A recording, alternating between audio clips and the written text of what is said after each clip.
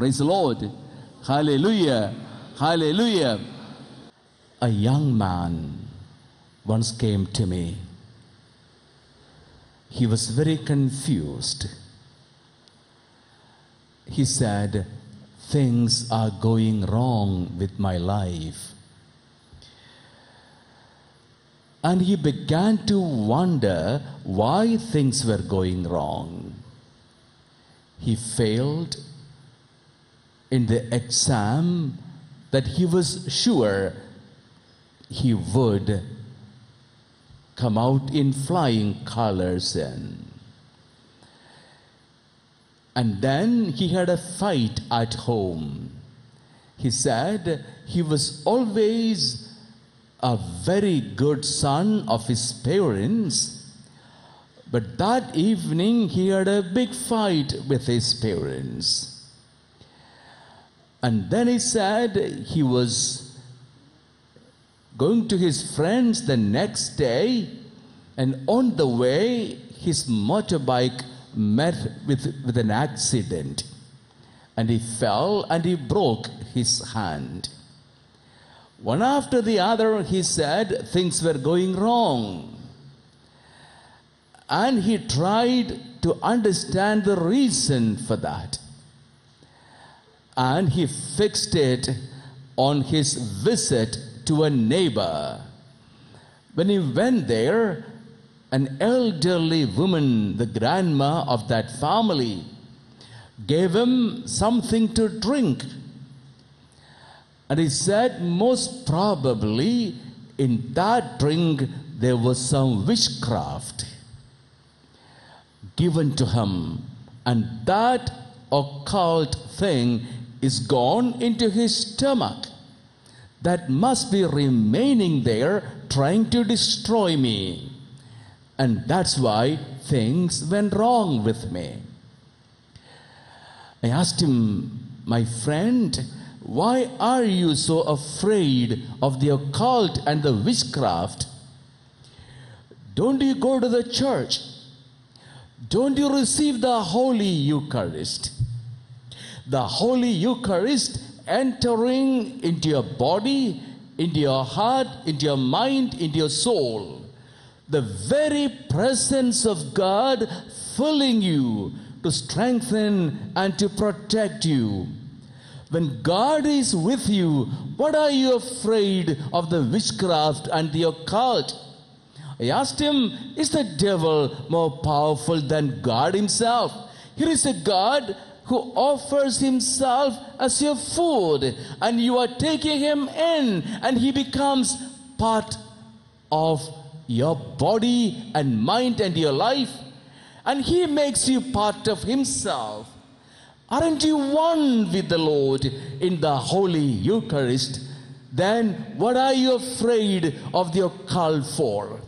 You trust in the Lord and offer your life in the hands of the Lord, no occult can ever touch you because the almighty power of the Lord is coming into you in the Holy Eucharist. Praise the Lord.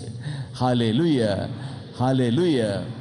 Renew your faith in the great love of the Holy Eucharist, God offering Himself to you as your as your food, becoming part of you. Let the faith in the Holy Eucharist strengthen you all the time. You claim it. You claim that protection, that presence of God. Let the presence of God that comes to you in the Holy Eucharist become a tangible experience for you.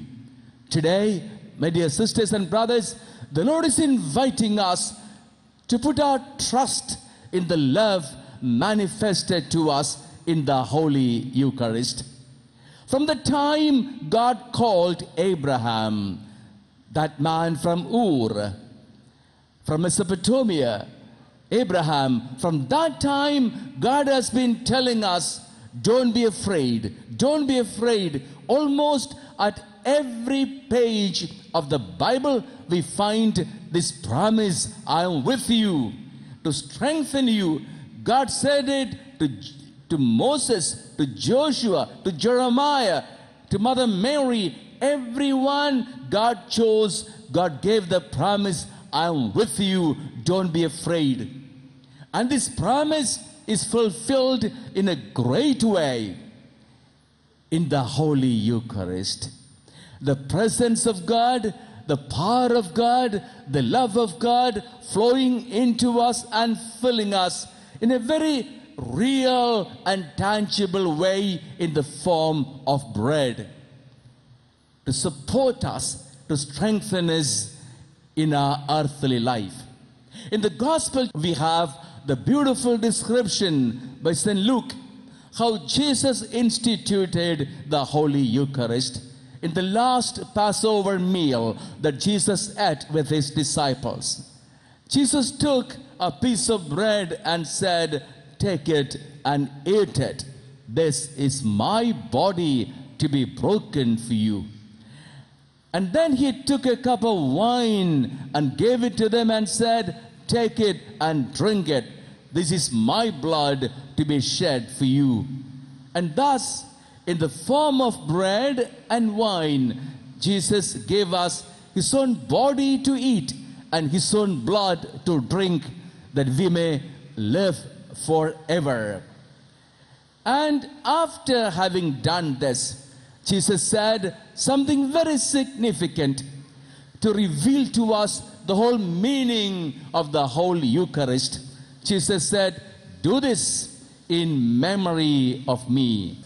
That verse reveals to us the whole meaning and significance of the mystery of the Holy Eucharist.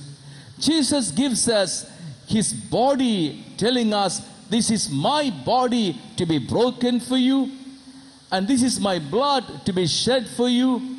And then Jesus is telling us, Do this in memory of me. Whenever you come together in my name, do this in memory of me. That is what we do here. That is what we do when we come to the Holy Eucharistic celebration. We are remembering. And what are we remembering at this altar? At this altar, we remember how our God was broken for us, how our God was betrayed for us, how our God was condemned and crucified and buried for us. That is what we remember. You know, my dear sisters and brothers, it's not enough to say broken for us because when we say it in the plural, it sounds a little impersonal. Anything said in the plural refers to a crowd broken for us, us, the whole world. Am I involved? Is he broken for me? And that's why St. Paul puts it in personal singular. Galatians, Galatians 2.20, St. Paul says, It is for me that my God was broken. It is for me that my God was betrayed. It is for me that my God was condemned. And that is what we remember for me. My God was broken. My God was betrayed. My God was condemned for me. And that is what we remember. And that remembrance is a celebration. We call it Eucharistic celebration. How can the memory of being broken for me be a celebration? Wasn't the death of Jesus on Mount Calvary, wasn't it a brutal murder? And what is there to celebrate in that brutal murder committed in cold blood? What is it to, to celebrate in it?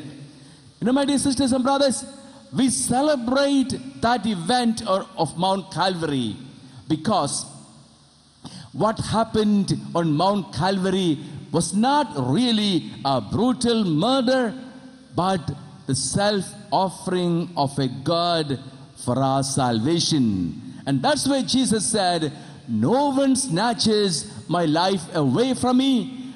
I am willingly offering my life for your salvation. Praise the Lord. Hallelujah. Hallelujah. No one snatches my life away from me. I'm willingly offering myself for your salvation, for your eternal life. So, what happened on Calvary was a willing, loving offering of our God, self offering of our God, that we may have life and life in the full. And therefore, Mount Calvary is the greatest symbol of love. God loved me so much that He offered Himself to be betrayed, to be condemned, to be crucified for me. That is the greatest act of love. What is the greatest manifestation of love? Jesus said, Greater love has no one than offering one's life for one's friend. I'm not offering a little money, a little love, a little comfort, a little time. I am offering my life, all that I have for my friend. That's the greatest offering of love. That's what Jesus did. That's what Jesus did. When I look at the cross on Mount Calvary, I understand how much I am loved. I'm so loved that my God offered Himself for my salvation. I'm so precious. I'm so dear. I'm so dear. I'm so great. How great am I?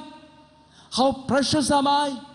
I'm so precious that my God thought He should offer His life for my salvation. I'm so precious to my God. I'm so dear to my God that God decided that I should not perish, that I should not die in my sin. Rather, He thought He should die that I may live forever.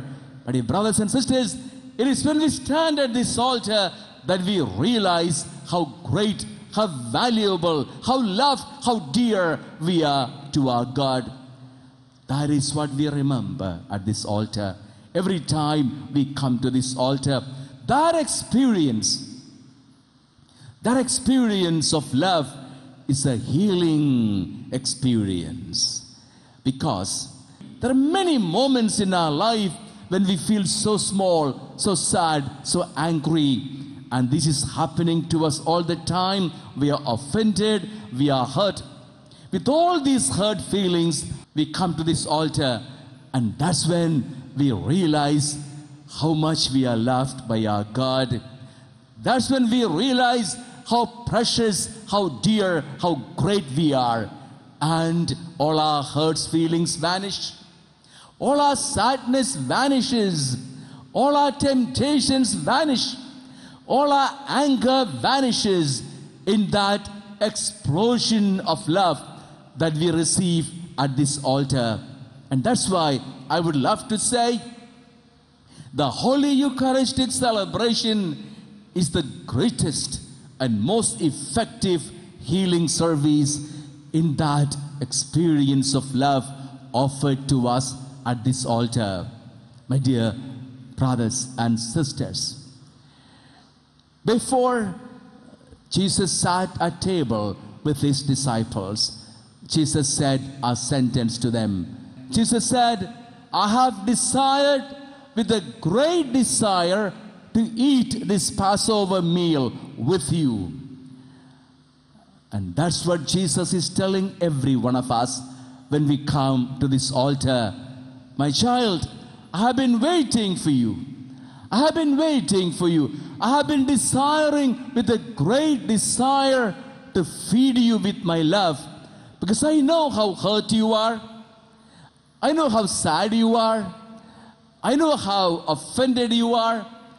I know how low you feel today because of the many things that went wrong with your life today. Here I am. I have been waiting for you. You know, my dear friends, Jesus knows everything happening to us. Matthew 10 30, even our hair, even a hair falling down from our head is all counted by Him. What does that mean? In a beautiful way, the Lord is revealing to us how caring He is. A drop of tears that stream down from our eyes is all collected in the hands of the Lord. Psalm 56 8. Psalm 56 8. I have counted your afflictions. I have collected your tears in my heart. My God knows every time I am hurt, I am offended, I failed, I committed a sin, I lost anything in life, even a hair falling down from our head, such a silly detail. Every such detail of our sufferings, of our problems, of our troubles, of our temptations, of our sins is known by the Lord. He wants to comfort us, He wants to console us, He wants to strengthen us, He wants to fill us with His love. The Lord is telling us, My child, I have been waiting for you. I know how sad you are. Come, come, I will comfort you. An invitation you and I need to listen to when we come to this altar and we need to offer. We need to offer to Him, offer to Him everything sick and sad and sinful in our lives. And that's why there is a beautiful moment in the Holy Eucharistic celebration, the moment of offertory. The moment the priest takes a piece of bread and keeps it on the paten and lifts it up like this for all of us to see. And then the priest pours the little wine into the chalice, adds a drop of water, once again lifts it up on the altar. A moment the Lord is telling us, My children, I am offering myself to my Heavenly Father. Have you anything to offer? I am offering my broken body to my Heavenly Father. Is your body broken? Is your body aching? Is your body ailing? Is your body swollen up? All that pain of your body, give it all to me. Let me raise up the brokenness of your body with my broken body to my Heavenly Father. A moment Jesus is waiting to accept all the problems and trials and troubles of our life 600 years before the coming of Jesus. God sent prophet Isaiah to reveal to us all about the Savior. The prophet said, The Savior is coming. When the Savior comes, He will take upon Himself our sin, our pain, and our sickness. That's what Jesus did on the cross. On the cross, He took upon Himself our sin and our pain and our sickness. And that is what Jesus is waiting to do every time the holy sacrifice is offered. He's waiting to take upon Himself everything sick and sad and sinful in our lives. We need to offer. We need to offer everything. And you know what? Everything offered in the hands of Jesus is accepted in the heart of the Lord. Everything offered in the heart of the Lord is anointed with the Holy Spirit. That is what happens at the moment of consecration. At the moment of consecration, Jesus takes that piece of bread. But Jesus takes that piece of bread in the hands of the priest. And Jesus speaks, but Jesus speaks in the voice of the priest. You know why?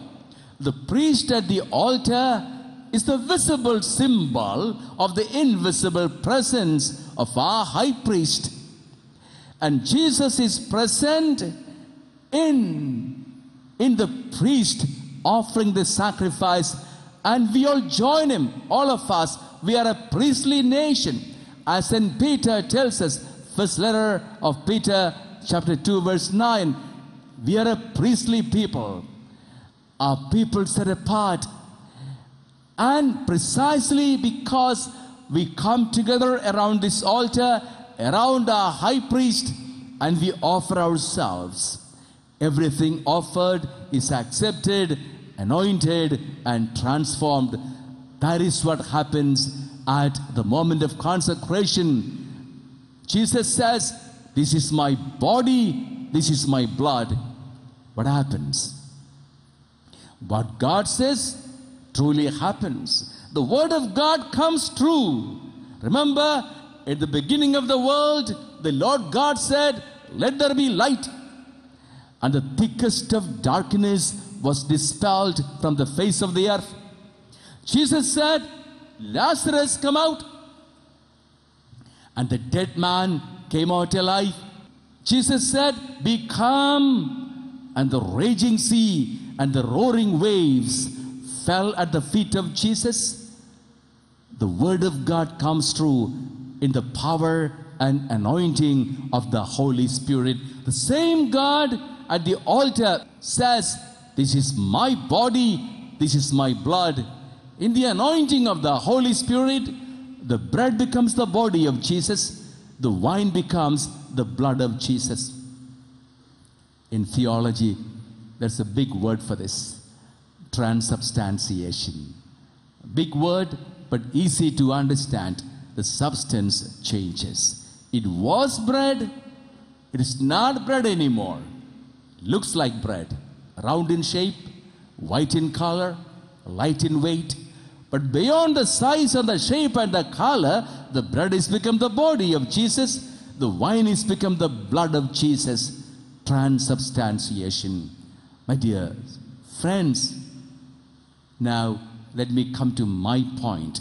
And my point is this Does this change occur only to the bread and the wine? This transubstantiation, does it occur only to the bread and wine? If a change occurs only on the altar, and all of us sitting there, we are spectators, we are just onlookers, then the Holy Eucharist would be a mere ritual. Mere ritual. No, it is a sacrament.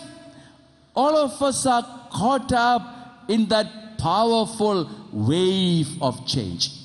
Depends what you offered with that piece of bread, with that wine. Did you offer your sadness, your sadness in your mind? Jesus accepts that sadness with the piece of bread. And that sadness enters into the heart of Jesus. In the heart of Jesus, your sadness is anointed with the Holy Spirit, and your sadness changes substance. When sadness changes substance, what does it become? It becomes joy. Your hurt feeling, you were very hurt by whatever happened, and you're angry. That anger you offered, you offered on the altar with a piece of bread. Jesus takes that anger into his heart. In the heart of Jesus, your anger is anointed with the Holy Spirit. Your anger changes substance. Your anger changes substance. When anger changes substance, what does it become? It becomes love. You offered your hot temper. You understand that you are a hot tempered person. I offer that hot temper with that piece of bread. Jesus accepts your hot temper into his heart. In the heart of Jesus, your hot temper is anointed with the Holy Spirit. The hot temper changes substance. It becomes the power of gentleness. The power of gentleness. You offer your pain, your sickness, your sickness accepted in the heart of Jesus, anointed with the Holy Spirit, changes substance. It becomes healing. It becomes healing. There is a process of transubstantiation going on every time we come for the Holy Mass. You know, my dear friends, it's like throwing anything into fire. Whatever you throw in the fire becomes what? A flame of fire. Throw a piece of paper, it goes up in flame. You throw a piece of iron, it blazes as flame. Everything thrown into fire becomes a flame of fire. There is fire on this altar. The fire of the Holy Spirit, everything thrown into the altar, into the hands of the Lord, all goes up in flame, changed totally transformed. Praise the Lord. Hallelujah. Hallelujah.